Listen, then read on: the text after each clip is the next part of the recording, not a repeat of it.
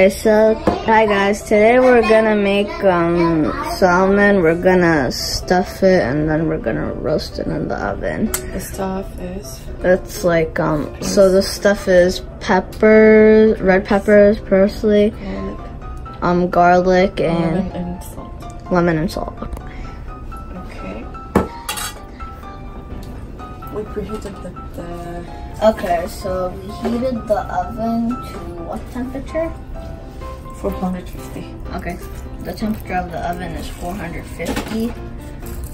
That uh, so then you cut this thing, you cut the salmon open, and then you just, you know, pour the the stuff pour the stuff inside it.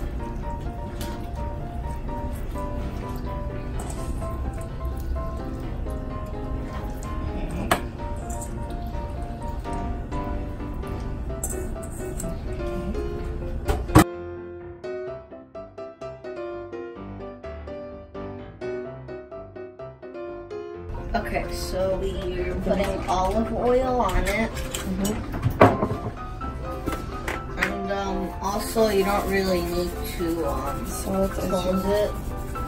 And then you salt it. Mhm. And for half an hour in the oven.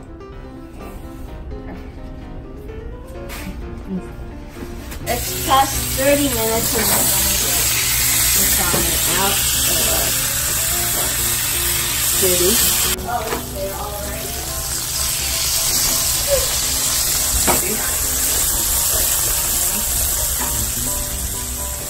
This is what the fish looks like. Judy, are you done? This is what the fish looks like. Dad.